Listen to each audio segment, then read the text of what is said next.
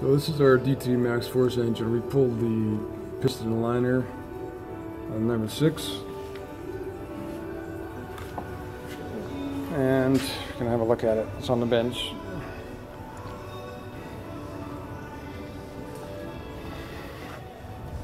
See the rod bearings.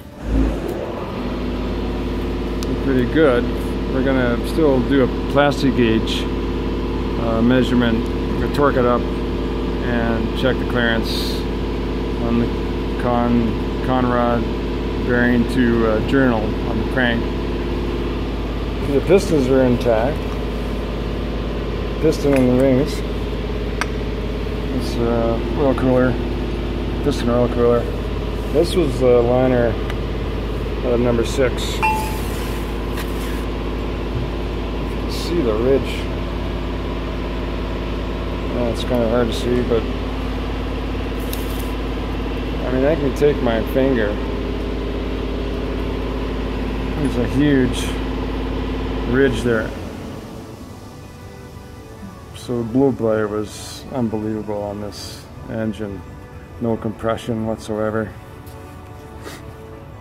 So this is another step we're taking. I pull all the rest of the liners and pistons. The head's been sent out to the machine shop, uh, as well as the uh, injectors, because I got to put the injectors in the head to, uh, pressure checks, check for leaks. You know, magnaflux it. And this is um, another stage in the process of uh, an in-frame.